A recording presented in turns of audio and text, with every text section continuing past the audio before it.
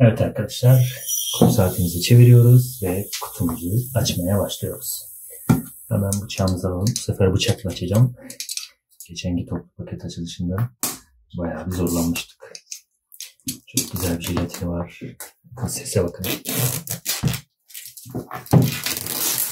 Paket açılışlarını seviyorum. Yeni, yeni ürünler açmaya bayılıyorum. Şimdi şurada bir kitapçığı var. Kullanım kitapçığı.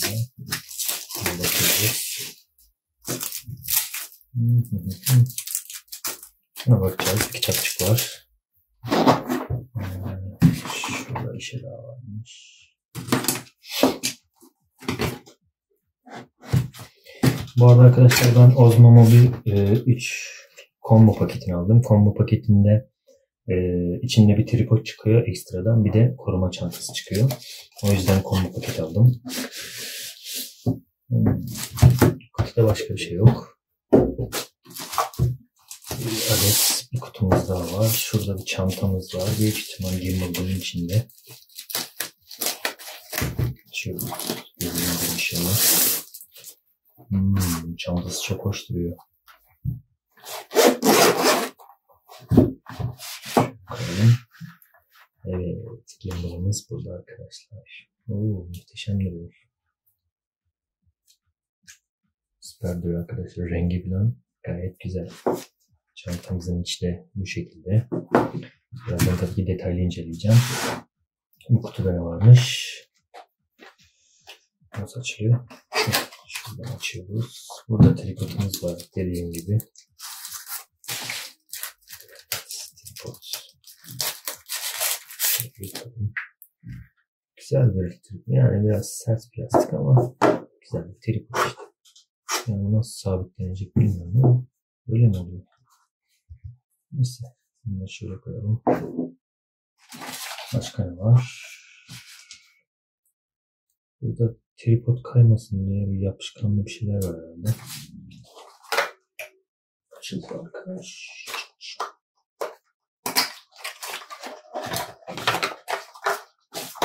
İşte yine kullanım kitapçıkları vesaire var. Şurada bir şey daha var.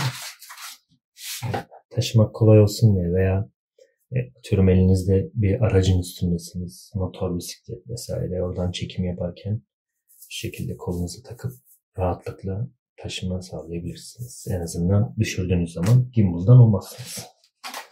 Bir şey daha var şurada ama çıkartabilirsin.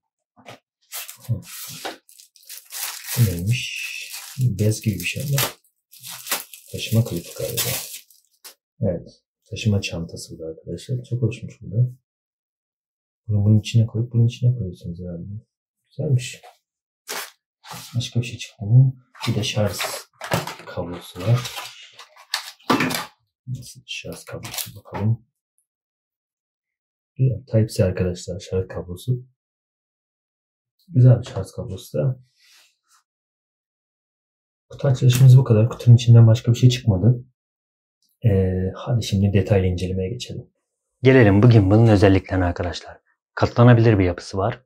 Ee, ve jet kontrol dediğimiz bir kontrol sistemi var. Yani bu ne demek oluyor arkadaşlar? Fotoğraf çekileceksiniz. Ee, gimbal'ı karşınıza sabitliyorsunuz tripoda ve gimbal'a 2 veya şöyle bir hareket yapıyorsunuz. Bu birçok e, cihazda daha önce uzun süredir kullanılan bir teknoloji ama bunda da var. Bu hareketleri yaptığınızda fotoğrafınızı çekiyor e, ve güzel bir şekilde, titreşimsiz bir şekilde size bir görüntü sunuyor arkadaşlar. Ee, onun yanı sıra şöyle bir özelliği var. Benim en çok sevdiğim özelliklerinden biri. Active Track diye bir özelliği var arkadaşlar. Ee, gene bunu en iyi şekilde e, tripodla kullanabiliyorsunuz. Yani normal şekilde elinizde de yapabiliyorsunuz ama tripodla daha e, güzel bir görüntü elde ediyorsunuz. Active, Active Track şu işe yarıyor arkadaşlar. Ee, siz diyelim ki bir e, sunum yapıyorsunuz e, veya bir şey anlatıyorsunuz. E, bunu karşınıza koyuyorsunuz telefonunuzu.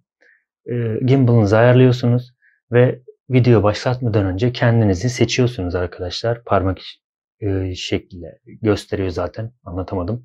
E, parmakla seçiyorsunuz kendinizi bir çerçevenin içine alıyor sizi arkadaşlar ve ondan sonra start tuşuna basıyorsunuz ve video kaydına başlıyorsunuz.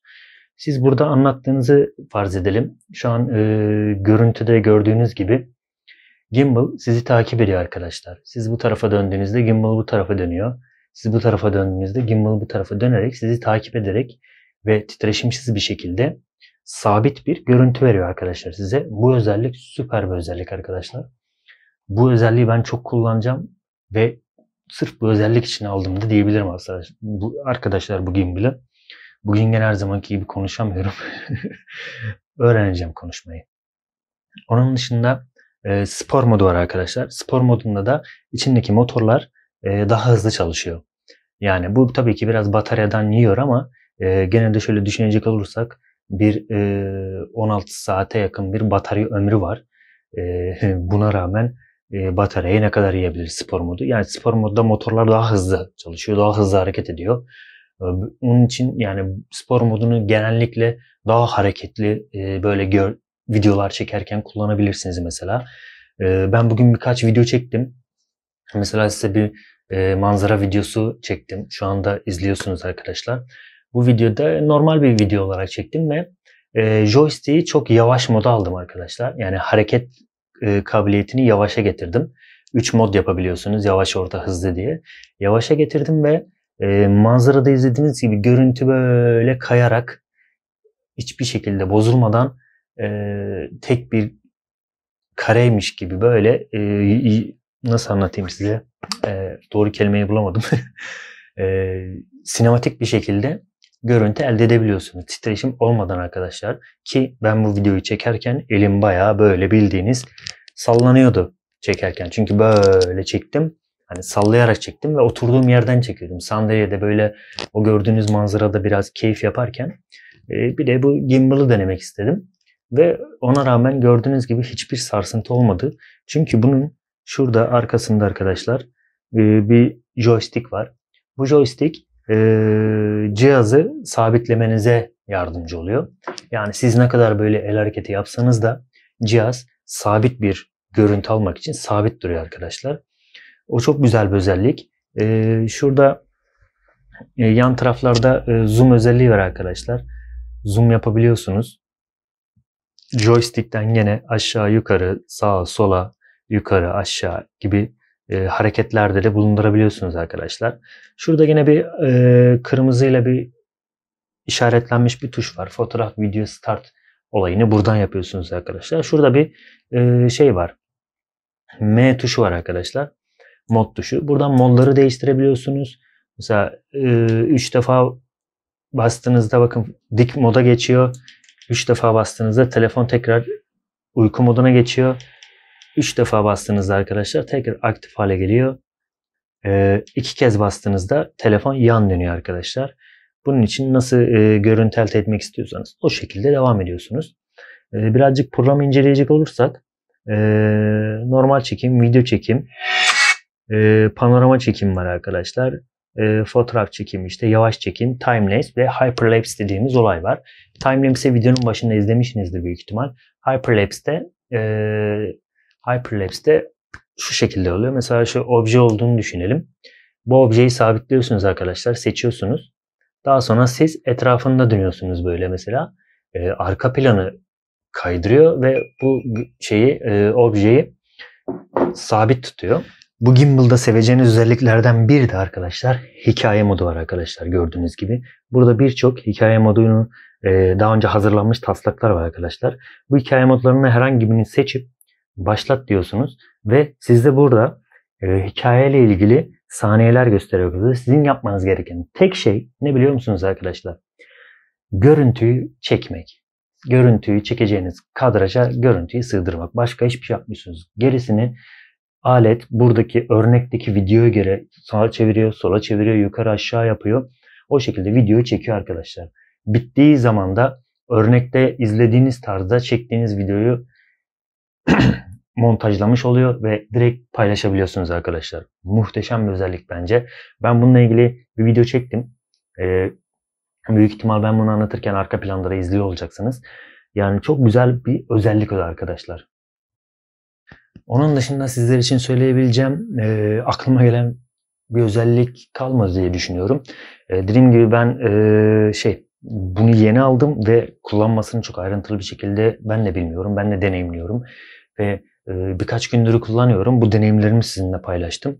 Ama şöyle bir şey söyleyeyim arkadaşlar. Eğer bir yayın yapıyorsanız, e, sürekli vlog çekiyorsanız bu cihaz muhteşem bir şey arkadaşlar. Ve küçük bir yapısı var zaten. Küçük böyle katlanabilir yapısı var arkadaşlar. Şu şekilde katlıyorsunuz arkadaşlar. E, katlamadan önce mutlaka arkadaşlar e, kapatmayı unutmayın.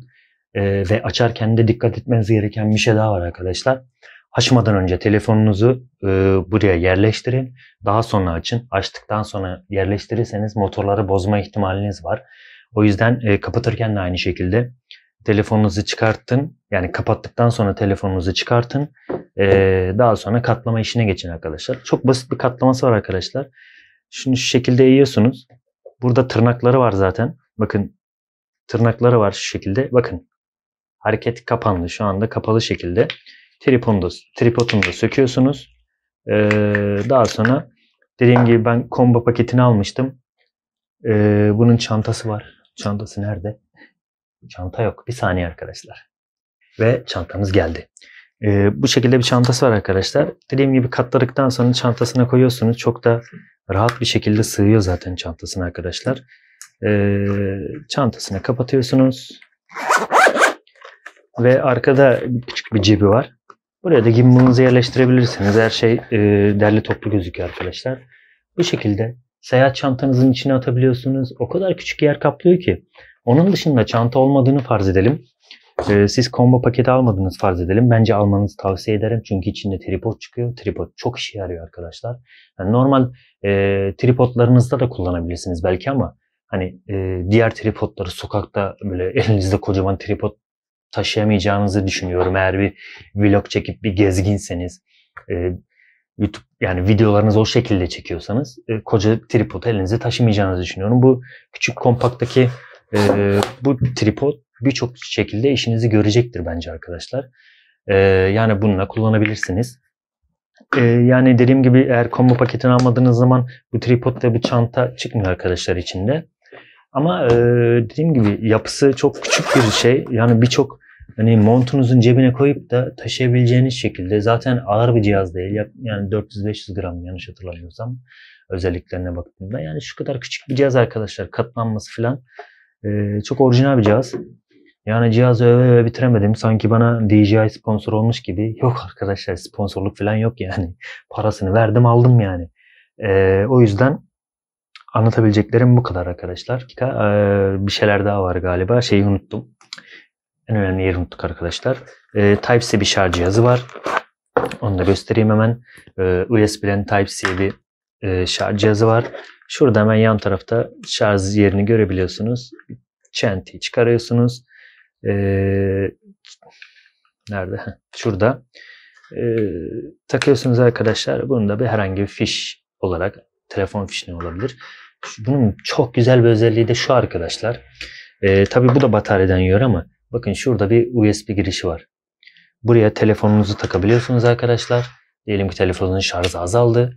Buraya telefonunuzu takarak da şarj edebiliyorsunuz. Yani bir nevi powerbank özelliğini görüyor. Tabii bu e, bunları yapıyorsunuz ama bunların hepsi e, tripodun bataryasından yiyor arkadaşlar. Bataryasını kullanmış oluyorsunuz. Bataryanın e, ömrü az, yani süresi azalmış oluyor. Ama güzel bir özellik, hayat kurtaran bir özellik bence üzerinden de telefonunuzu şarj edebilmeniz. Söyleyeceklerim bu kadar arkadaşlar. E, kanalıma abone olmayı unutmayın arkadaşlar. Kanalımız yeni. E, sizlerle beraber büyüdükçe e, daha güzel videolar, daha profesyonel videolar çekeceğiz. Yani te, videolarımı genelde telefonla çekiyorum şu anda, diğer telefonumla. E, o yüzden görüntü kalitesi çok iyi olmayabilir ama olabildiğince güzel çekmeye çalışıyorum ışıklarla ışıklarla.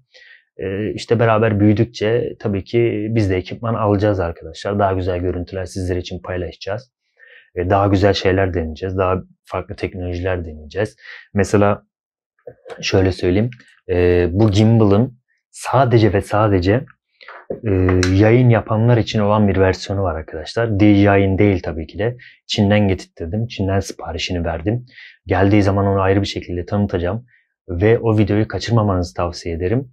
İlla bu gimbal almanıza gerek yok. Bu yaklaşık 890 lira civarındaydı yanlış hatırlamıyorsam fiyatı. O Çin'den getirdiğim ürün daha ucuz bir ürün ve e, TrackMater dediğim özellik yani takip etme özelliği ni o cihazlara göreceksiniz arkadaşlar. Muhteşem bir cihaz. Geldiği zaman onu inceleyeceğim. Kaçırmayın derim. Eğer bu tarz bir şeye almaya niyetiniz var ve bunun fiyatı pahalı geliyorsa arkadaşlar o videomu kaçırmayın. Mutlaka izlemenizi tavsiye ederim. Kanalıma abone olarak bildirimleri açarak bana destek olabilirsiniz arkadaşlar. Kendinize iyi bakın. Hoşçakalın.